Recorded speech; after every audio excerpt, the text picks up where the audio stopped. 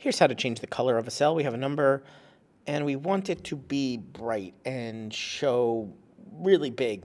We could bold it, we could increase the size, but we really want to change the color of the background of the cell. Let's do that. Select the cell you want to color, and sometimes your menu bar might be hidden. You might have this more. We have to click that, and we would click this bucket. It's actually called fill color.